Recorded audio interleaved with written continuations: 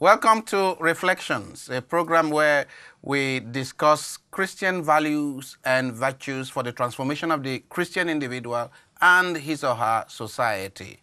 Um, this is the second time we're having the opportunity of having our studio Bishop Godfrey Onah, uh, Bishop of the Catholic Diocese of Nsukka. Uh, the last time we met, we discussed the challenges that face the church today uh, some people call it Pentecostalism, but I say that this is what we are having is a real confusion of identity of, uh, uh, of Christians and a confusion of the central mysteries of Christianity.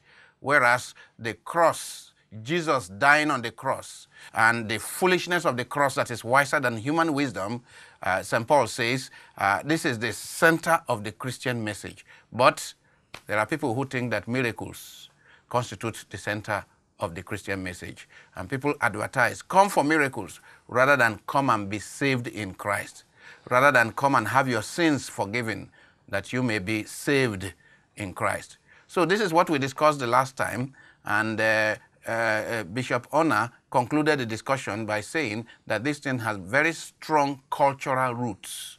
The confusion we are seeing in Christian practice today have very strong cultural roots. Today we would like to discuss more of that culture. Uh, like I say, I have Bishop Onah with me in the studio, and we are going to be looking at the quality of Christian practice today in our society and where culture is involved, and how actually perhaps the gospel should be a principal agent in the forming of our culture. Welcome, Bishop. And uh, um, I now uh, ask you to further enlighten us on the influence of culture um, in uh, the Christian practice or lack of Christian practice today, uh, or the influence of the gospel in forming our culture, which I believe is what is supposed to be, that um, the message of Christ is, which transcends all cultures, supposed to help form a Christian culture for a people that um, are 50, 60% Christians. You go to parts of the country that are 98% Christian. Is their culture, has their culture been sufficiently penetrated by the gospel? Culture is dynamic, they say.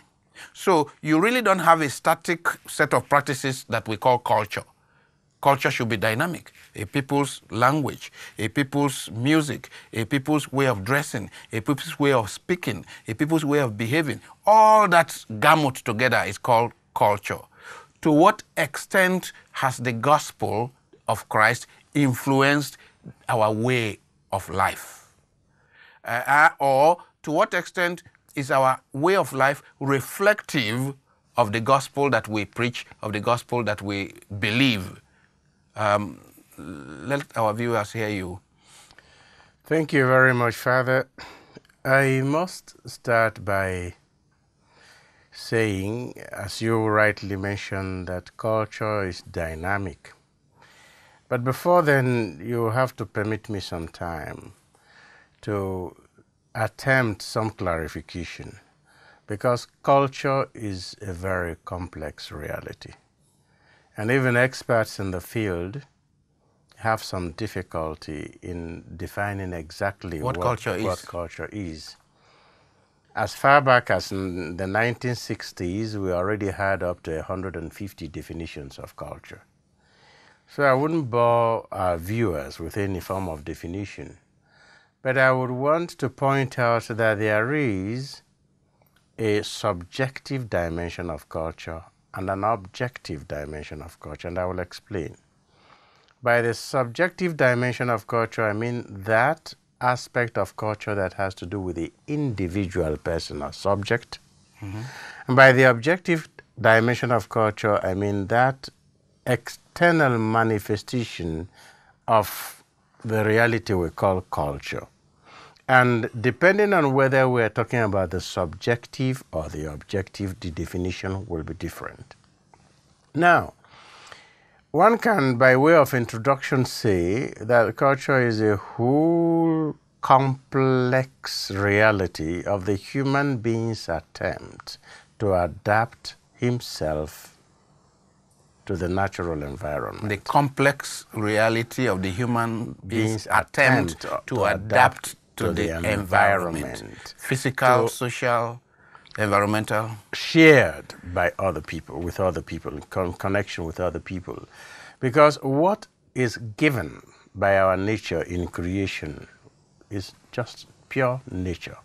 What we make of the given is culture. Good. The raw materials we find, the fact that there are stones here and hills there and trees in some places, that is natural. But when you go to a flower But garden that we transform those stones and trees into a house or a city, is a cultural thing. And that already shows you that so many things enter into the definition of a culture. But here, because of the context of our discussion, I want to point out that the relationship between culture and religion is more profound than it may appear in the first instance. It is so profound that some people actually do confuse culture with, With religion. especially within our traditional context. When all the people had only one religion, it was easy to identify the culture with the religion. Mm-hmm. But there are so many elements that go into the making of a culture. You mentioned language, yes, art, yes, the techniques of work, yes. The values, especially values, They are key, yes, institutions, yes, and also religion.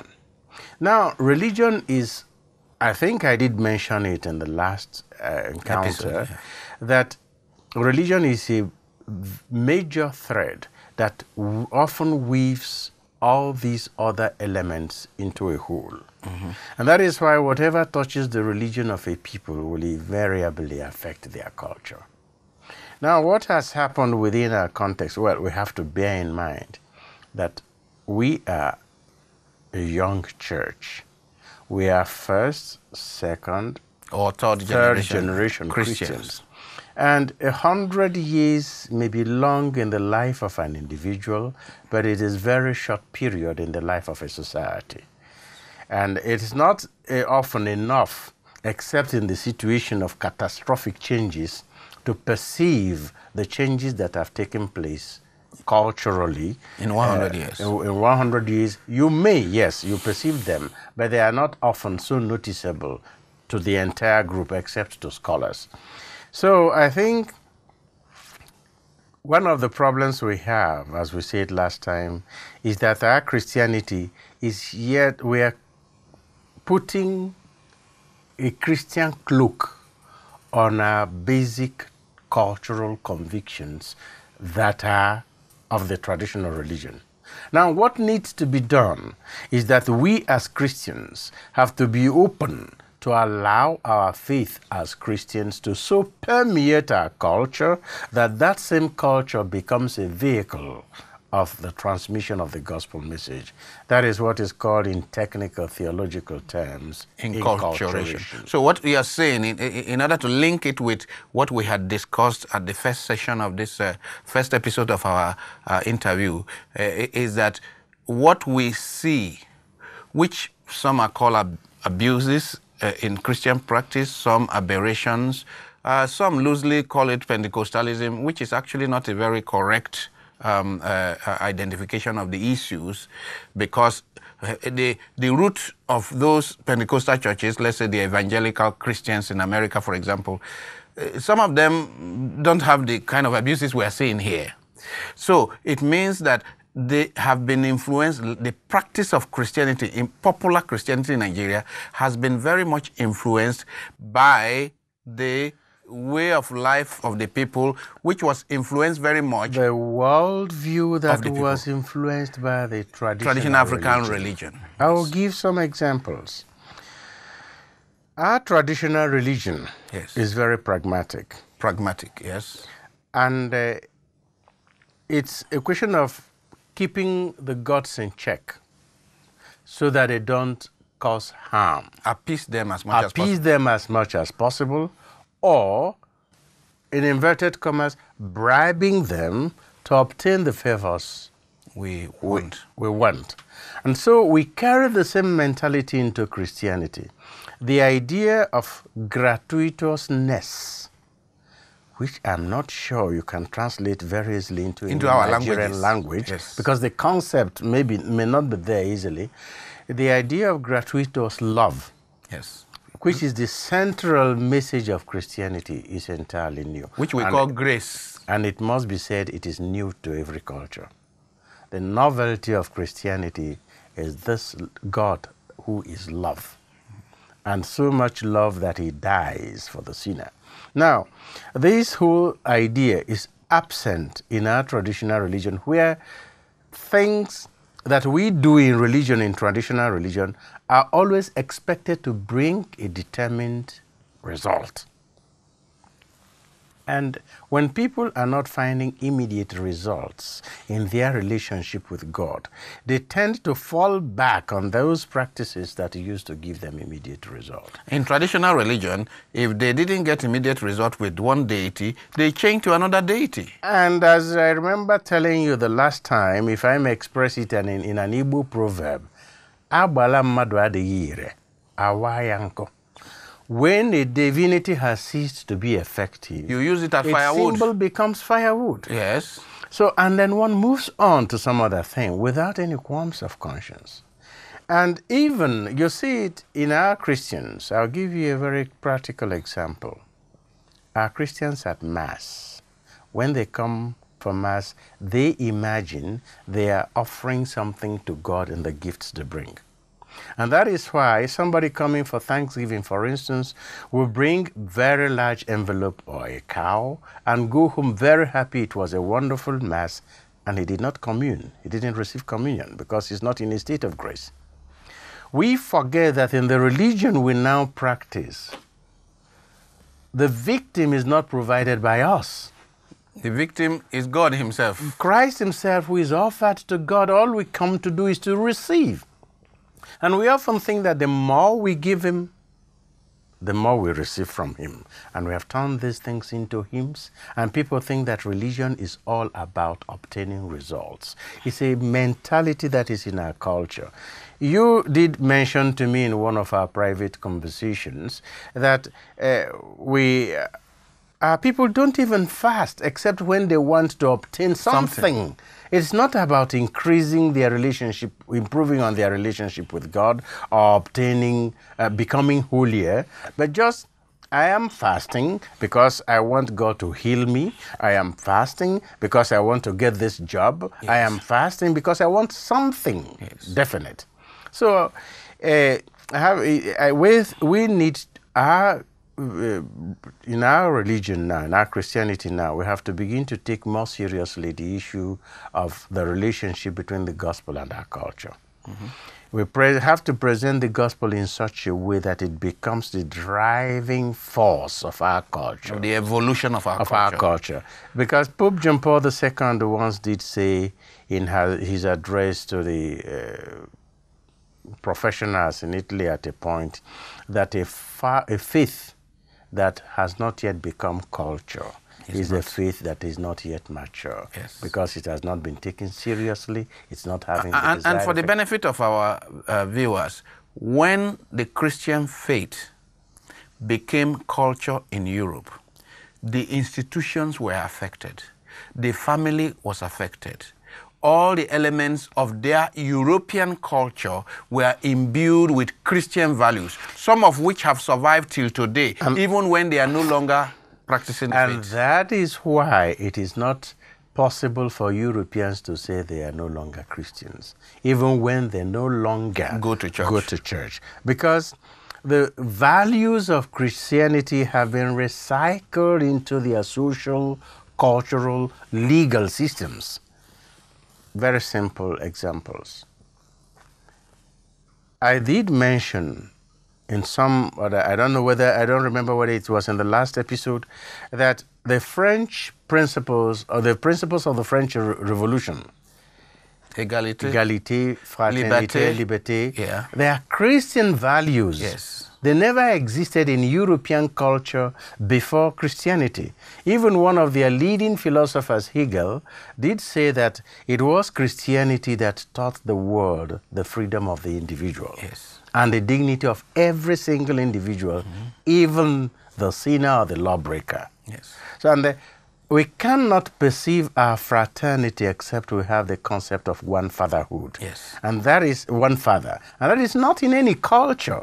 It's only in that religion that says we are all children of the same father, not because we are begotten by blood, but of all those who believed in him, he gave the power of To become becoming the children of God. God not generated in blood, but by the Spirit. So that fatherhood of God is the only thing that gives us the ground to say we are all brothers and we are all equal. Of course, we know we are not equal physically, we are not equal socially, but we are equal in dignity because all created in the image of God. God.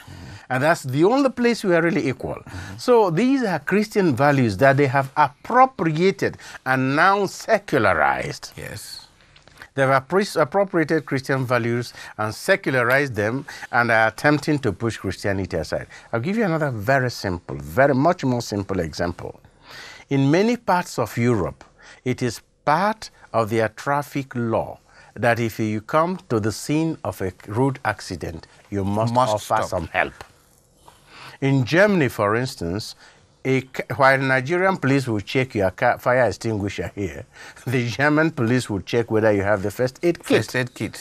But that is the parable of the Good Samaritan that has Now become law. institutionalized. Has become law. So these are the things, but it didn't happen in one day. Emperors had to become Christians, and princes had to become Christians, and they then used the powers they had to make Christian values obligatory to the people mm-hmm. for the people. Well, we may quarrel about their methods, but we can see the result it has obtained. That a people adapted these values, and the first to begin to make that attempt seriously on an institutional level was Constantine. When he became a Christian, when he acquired some sympathy for Christianity, nobody really knows whether he, he actually, actually became became- a Christian. But he had a lot of sympathy for Christianity and then gradually began to bring in Christian values because he saw that those values kept the people more coerced, more linked to one another than all the things contained in the Roman laws. For more than 70 years now, many parts of Europe, maybe not up to 15, 20, 30% of Christians go to church. And yet, what Bishop Onah is saying is that the Christian values that formed their culture, their culture became Christian. Uh, it, it, it- you can now see it in, so monogamy became law. Charity became law brotherly concern became law. All kinds of things now became uh, part of the culture. Courtesy, simple courtesy, compassion became part of the culture. Meaning that if the gospel is really doing what it should do, transform a people, years after even the person stops going to church, it continues to affect the practice of the people. If you watch the architectural layout of most European cities, Yes. you find they have centers. Every city has a center. Mm-hmm. At the center of the city is a church. Yes.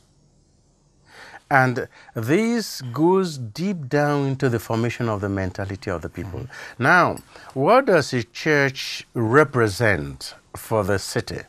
Is the point of reference. Yes. That point where God intervenes in human chaos and gives some orientation and some sense of balance. One old German woman once told me that the only thing that gave them hope during the, the Second World War while was that whereas Cologne was constantly coming under bombardment, from the Allied forces, each time they woke up, And they, they looked, looked at up the dome. and saw the dome still standing. Yes, that meant hope. Cologne was not yet had not yet mm-hmm. collapsed. So this point, this set, the church that provided a point of reference for the people, even if now they no longer go to, ch- uh, to churches, that had become a point of reference for their architecture, a point of the reference for their city development, a point of For reference tourism. for their aggregation, and then now for tourism. tourism. I mean, I, I live Economy. briefly in, Ka- in Aachen, the city of Charlemagne. And um, you see the rat house, meaning the, um, what do you call it, the council building. council building. And then the dome, meaning the church. So the center where people gather, uh, the church becomes the center where that rallies people round. Is also not just physical center, but ideological uh, center where people gather. It's in our own society. It's like the town hall. So the church is like the town hall. Um, eh, this is very important, your analysis of, of the dynamics of culture and, and religion, what role religion has to play and what role culture has to play. But How, may I add quickly yes, that here, of all the elements that enter into a culture, into the definition of a culture, so many can change. But the ones that will determine whether a culture is going up or, going, going down, down. Are the values. values. The values. What are the things for which a person is prepared to die? Values. the values. And unless our values as a people, as Nigerians, as Nigerian Christians, unless our values are being shaped by the gospel, no matter how full our churches are, we have not yet become Christians. Hmm. This is serious. I mean, for viewers, he says, unless our values are Christian, no matter how full our churches are, we have not yet become Christian. And what are the dangers of this? Does it mean that uh, churches are full today and seminaries are full and so on? If our values are not Christian, In 1984 or 85, fresh from ordination, I did a reflection that I still stand by now. It was a title that was given, proposed to me by the Presbyterium, and I reflected around it. The title says, Baptized but not converted, hmm. informed but not not transformed, transformed. learned but not educated. Can this be said of the majority of Nigerian Christians today? And the answer is yes. Baptized but not converted. Not converted. Christianity is about change of attitude. It is about a conversion of heart. You see, I get worried by all these applauses that we receive, uh, about by all this applause that we receive as, as, as preachers. Because when Peter preached, they asked, applause. Brethren, What must we do now?" now? Transformation. transformation. Is Christianity an agent of transformation in Nigeria? What we have is that a we have a form of Christianity that is confirming the misery of our people, soothing them, and providing comfort for the rich. Marx did say it that Christianity, religion is meant through charity to provide consolation for the rich and through miracles to provide consolation for the poor. The rich will soothe their conscience when they give, Some pittance. after having stolen billions, they give millions, and we clap, and they are okay. And of course, the poor receive handouts or they receive some miracles and they are okay. But there is no change of attitude. There is no transformation. Nigeria keeps getting the premium of being the most religious country in the world and yet most corrupt. How do you combine these two? I mean, when, when Jesus met Zacchaeus, when he encountered Zacchaeus, instantly there was a transformation because Zacchaeus got up and said that if I have cheated anyone, I will refund fourfold and I will give half my property to the poor. The, it's clear evidence of instant transformation. It is true that in most of us, the transformation will not be as dramatic as, As that, that of, of Zacchaeus. Zacchaeus or even that of Paul. Yes. But some constant openness to, transformation. transformation should be there. Our Christians don't care. So long as they get their problems solved. That is why it does not matter to us how corrupt our brother is when he is in office and is satisfying our own needs we don't feel ashamed of the corrupt practices of Christian leaders, for instance. And it is becoming commonplace, normal. And unfortunately, if, if we don't take these things seriously enough, we produce a version of Christianity that will become a caricature of the gospel. Well, I am afraid that we have already, we already have today, in the popular Christianity of Nigeria, in the popular practice in Nigeria from north to south, from east to west, actually a caricature of Christianity. This is my worry, and part of this program is to be constantly reflecting on true, authentic Christianity. And we have a cloud of witnesses through history to, as evidence, and then to look at our own society and see churches that are full and see the conduct of the people to say, hey, where, where are we going? This is, this is part of the reason why we have programs like this, and I'm happy that uh, you are here to actually make this in a very lucid you know, uh, manner, help our uh, viewers, help us to really understand that what we are dealing with is very critical to our survival, our entire enterprise as Christians. It is critical to it. Remember, I said last time, I ended on this note that we should have the courage to let those who want to go leave.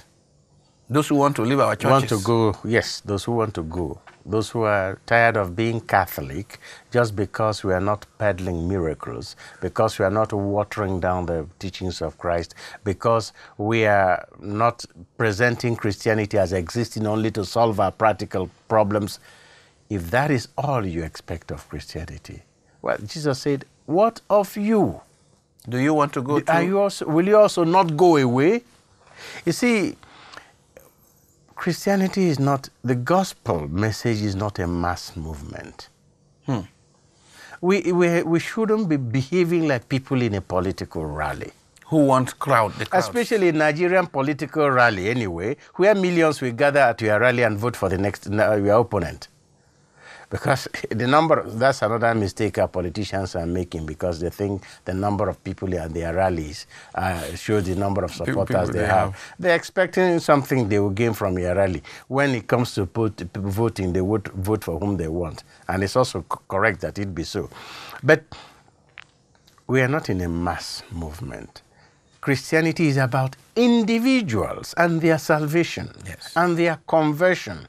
And it is only when those individuals collectively assume it as a responsibility to transform themselves and as their and their and their environment, their society, then it becomes a cultural movement. Well, we will uh, take a break at this moment, and then we will come back and take it on from here about uh, Christianity being a religion of the individual and the, and the collection of those individuals. Uh, it's something very enlightening that I will want our leaders, uh, our re- uh, viewers, viewers, to be- benefit from when we come back. Let's take a break.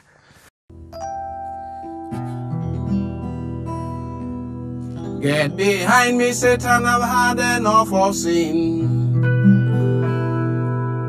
Get behind me, Satan, I've seen the light of Christ. Get behind me, Satan, Jesus calls on me. I've given my life to Christ. Get behind me, Satan, I've had enough of sin. Get behind me, Satan, I've seen the light of Christ. Get behind me, Satan, Jesus calls on me. I've given my life to Christ. Get behind me, Satan, you are an obstacle on my way. Get behind me, Satan, I'm tired of darkness. Get behind me, Satan, I'll always reject you. I've given my life to Christ. Get behind me, Satan, I'll always reject you. I've given my life to Christ. Get behind me, Satan, I want no more of you. Get behind me, Satan, I've been set free to live. Get behind me, Satan, I'm now a child of God. I've given my life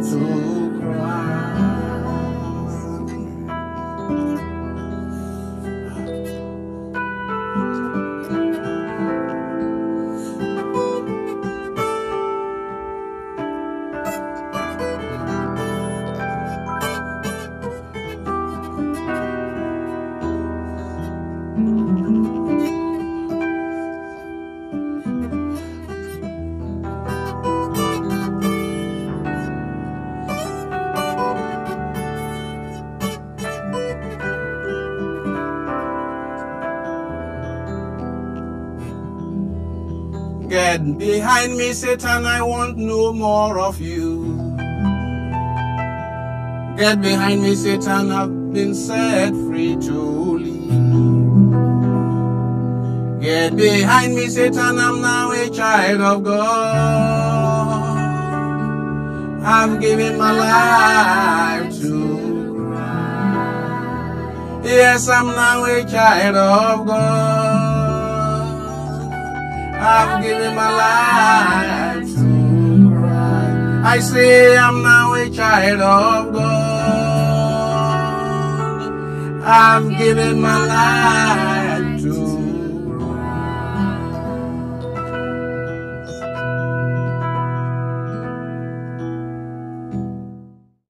Welcome back to Reflections. I have uh, Bishop uh, Godfrey Onah of uh, Nsukka Diocese with me. Um, by the way, Bishop Onah uh, was professor of philosophy uh, at the Pontifical Urban University in Rome for many years and uh, um, became the Bishop of Nsukka Diocese. And now he's uh, using his professorial knowledge and experience to teach us, um, instruct us on what is really happening. I have benefited so well from the analysis of culture and the dynamics of religion and culture. At the point at which we took a break, he was talking about um, the nature of Christianity. Christianity is not a mass movement. You may have millions of people, but it is about individuals and their transformation and their salvation. Well, when those individuals gather together that form a church, but we are baptized as individuals, you never have a priest go to the marketplace and pour water on all of you. I baptize all of you. You still take one after the other. Joseph, I baptize you, and so on. Samuel, I baptize you. And Jesus himself said, a good shepherd knows his sheep by, By name. and calls them one by, By one, one. and leads them out Yes. and they, they follow him. Uh, uh, just a little aside, you said something which I'm using my professorial knowledge. Uh, it's rather the other way around. All my 21 years as a teacher in the university in Rome, I had one thing clear in my head that I, that I am a priest. Correct. And I told my students that I am a philosophy teacher, but primarily a priest. And if God called me to the priesthood, it wasn't to teach philosophy, Was to be a but priest. to preach, preach the gospel. Praise the Lord. So that I was using the teaching, reflection on philosophy and its teaching as a means of preaching Christ's gospel. gospel. And the moment I found out I could no longer do that, I would resign. From teaching. It was clear in, clear in my head. So it's really my own understanding of my faith. My own understanding of my faith. I don't deny that my academic formation and my professional experience are a help. But I have had very deep reflections and discussions with my mother, who didn't go beyond standard two and you find a deep theological thought that you would not get in many of the uh, uh, professional theologians sometimes. So I think it's rather it's really about what we think about our faith, whom we think Jesus is for us. Yes. Where our is where us. our faith is in our worldview. Um, you know, this comes up generally now and again when people come to me to discuss about who they want to marry. Uh, I want to marry this person, but Father, we are not of the same faith. Sorry, before we go to that, let me quickly add something about Christianity being about individuals and their salvation. Yes. This should not be taken out of the cont- out of context of Christ's own command that we love one another. Mm-hmm. And that also means that to love one another, there has to be the other for you to love. Yes. And Paul's image of the church as a body, and no single individual constitutes the body of Christ. Yes. So, saying it, it's not a mass movement that is about individuals is just to emphasize that we should not lose the value of the individual when we are chasing after the mass, Yes. the number, the crowd, and building larger churches, and people are not getting converted. Yes. So that's that is yeah. I- No, no, I- I- I without think- diminishing the value of the corporate. Uh, Yeah, actually, we, we, we were, I thought we were emphasizing the individual transformation over and above the desire to have crowds and crowds. And the crowd we have in church should be a collection of individual We're Christians. convinced Yes. about their faith. Individuals that are convinced of the faith. Because we have this strange phenomenon in the Catholic Church, peculiar to Catholics. Wherever Catholics are in the majority in Nigeria, that is where you feel the influence of Catholicism less. Hmm. Or least. Where they are in the majority, you. Things I- are taken for granted. I told people in my diocese that I want to give Nsukka a Catholic identity. And they were wondering, do you want everybody to be a Catholic? I said, no, I know that we're already a majority here. But I want it to be, I want us to be majority in such a way that somebody who comes to Nsukka for the first time would not need to ask, what religion is the majority here? Let him perceive it by our conduct. Let him perceive that we are Catholics by our conduct. Why is that so difficult?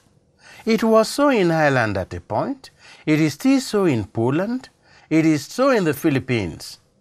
You don't need to ask them their religion. You see it? You see it in their conduct. Yes. So uh, that is the thing I am worried about our numbers, about number, because the individual is lost in the crowd. Well, you see, you see our religion by the noise we make. I mean, we see our religion by the fact that by 12 o'clock in Onitsha, the bell goes for Angelus. Well, is that not Catholic identity? Yes, but you know, I don't know how far that is still going on, because let me tell you something.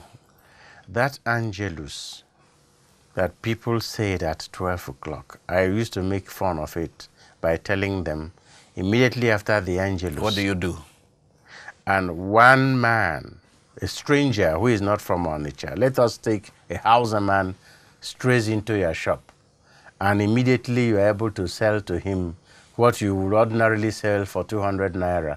You sell it to the Aboki for 500 naira or 1000 naira, and you will thank God that he has heard your Angelus.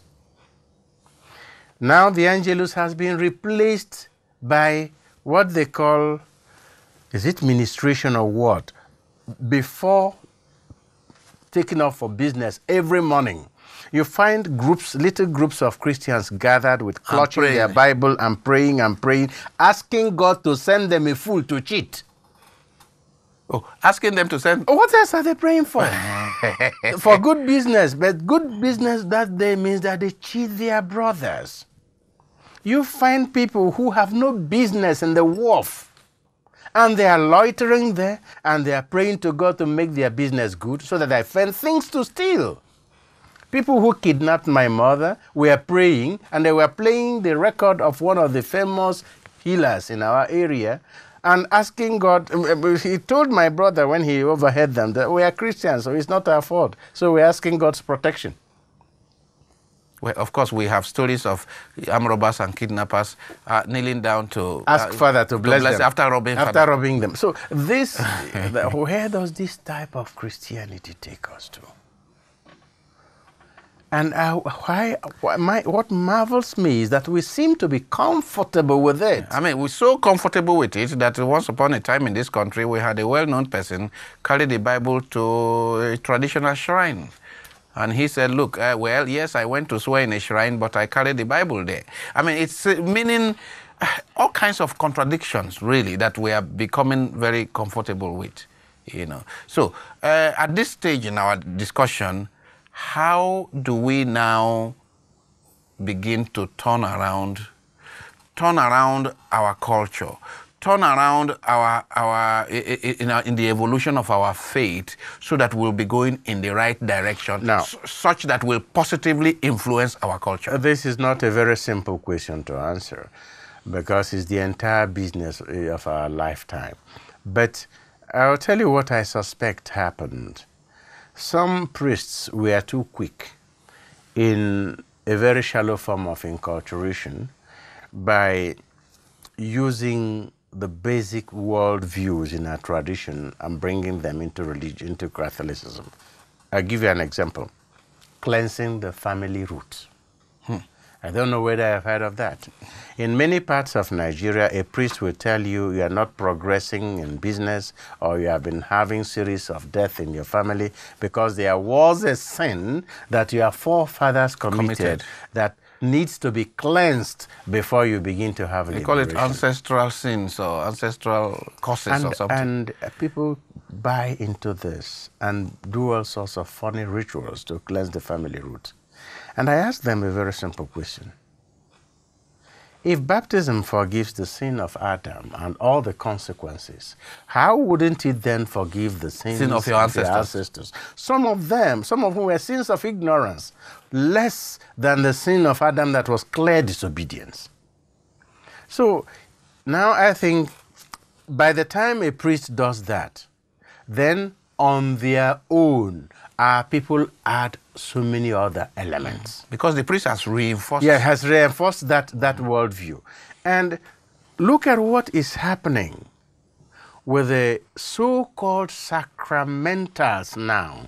We are in a jungle of sacramentals in Nigeria where anything from handkerchief to balm to granite oil and the so called olive oil, blessed in any way, has olive oil. All those oils have become anointing oil, even for Catholics who know what anointing oil should, Should be. and priests use that for them, and they think then they take the place of charms. Oh, okay. Before you know it, you take a sticker from a ministry and you put it at your door to You are protect protected it from thieves. You take a, a- a- an olive oil and you surround your house with it before you build it, protect it from thieves and from all your enemies. And do you blame the people? So I think on the level of leadership, for especially by priests in the Catholic Church, we have to begin to do very serious hmm. reflection. The author of the letter to the Hebrews wanted to make Christ's message relevant to his people. Yes. And he went to the Old Testament and pulled out instances in the Old Testament that he would use as references to what Christ, as preparations for what Christ did. We have to do that with our culture. God gave our ancestors means of doing His will, not as clearly as He did to the prophets of the Old Testament, but He didn't leave them without any guide. We have to get deep down into our culture and fish out the values that mm-hmm. guided our people. Yes. There was a time when I was still young that it was an abomination for an Igbo man to steal. In many parts of this country. I'm talking of the culture I know. And if an Igbo man stole a goat, it would be hung on his neck and people would make caricature of him. And now we give titles, even in the church, to the greatest thieves we have in this country. Well, part of it is that we don't call them thieves. We say the person is corrupt. It looks like the word corruption is too big a word that our people don't know the meaning.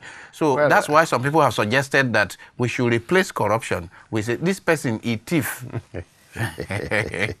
so I think we have to begin to do very serious reflections about the values in our culture that we appoint as, as the classical theological term, semina verbi, the seeds of the gospel mm-hmm. in our own culture.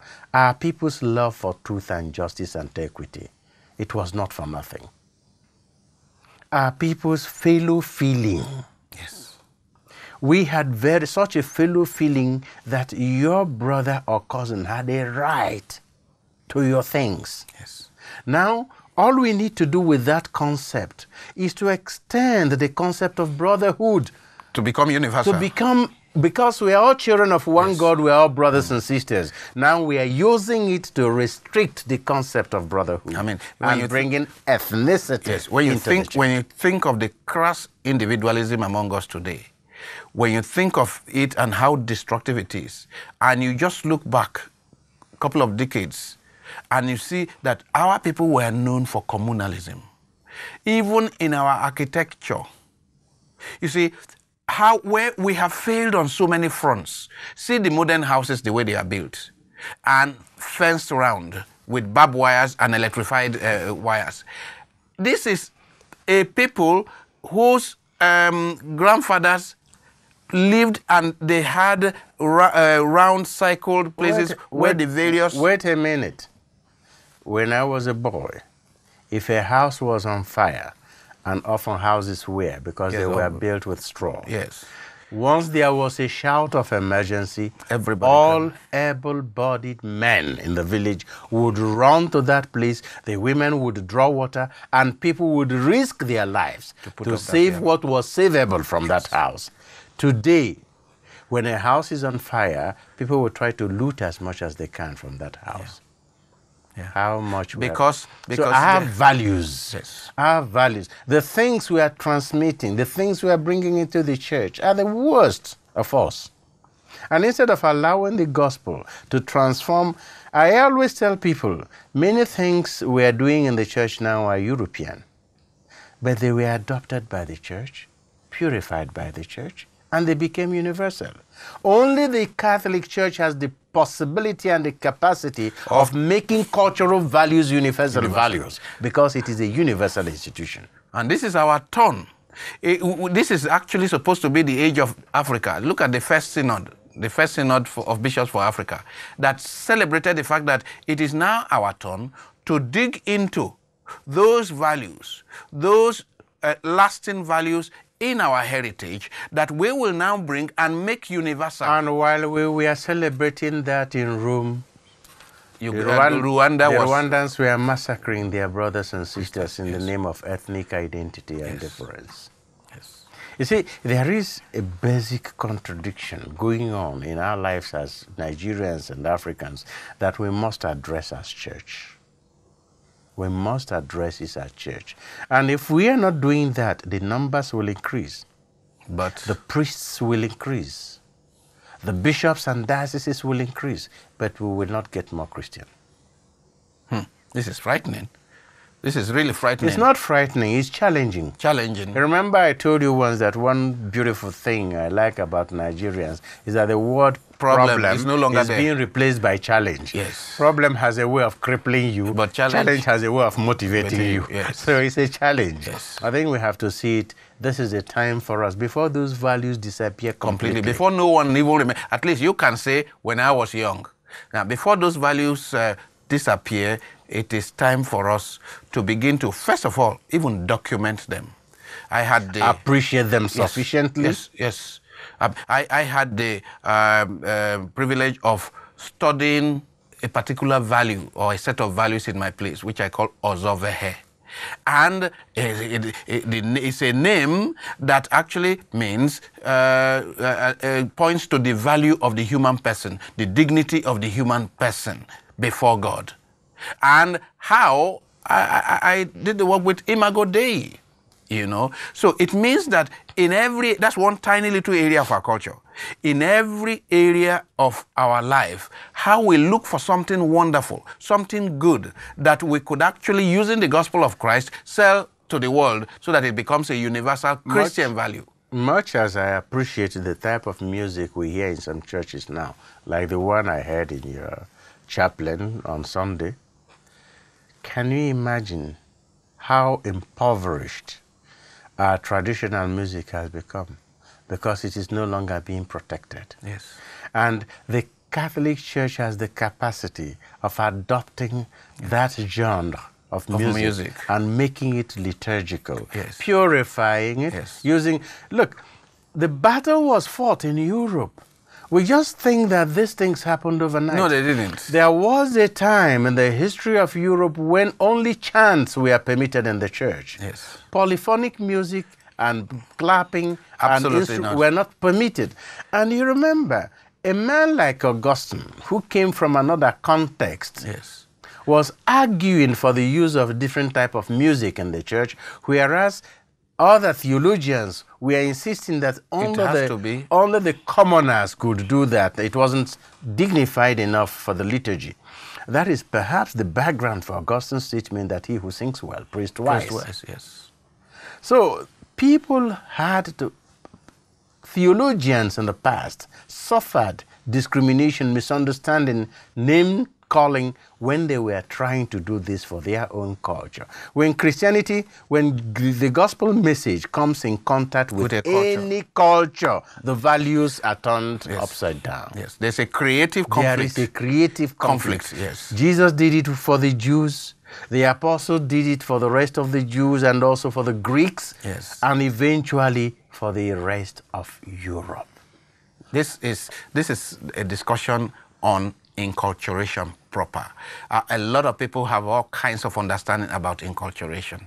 Uh, people have debated about adaptation, about acculturation, about contextualization, and inculturation. What Bishop has been discussing is actually pointing our direction towards serious theological reflection On, values. values. Father George, sorry to be so passionate about this, but anytime you think of inculturation in Nigeria, the first thing that strikes you is music in the church. Hmm. And you go for a celebration and they use cultural elements. They bring girls dressed in a way that nobody dresses any, anymore. And they tell you it is is cultural. They do things in my place. I ask them, where does Where is this make meaning anymore in our, to our people? This is just a creative invention of one artist, and they tell you it is cultural. And the values, the values our people cherish so much. We have lost them. Respect for elders, for instance. a critical element of our culture. Respect for, elders. for instance. Yes. And now that children find it difficult to stand up for elders, we have that because they have been taught in another culture that children also have rights, and I agree. I have no doubt for that about that. But you find children who come to church in the rural setting and they occupy the seats, and their parents come and they have to stand.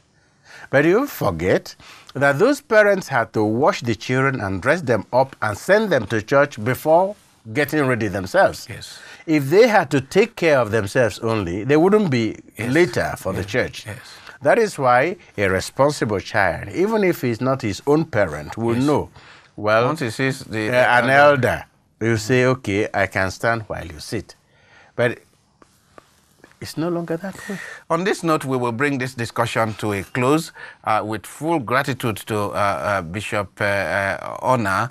Uh, the whole issue is the challenge of digging out from our culture, from our various cultures, digging out values that are godly values, if we may put it that way. Godly values embedded in our cultures, which we are neglecting and we are losing fast.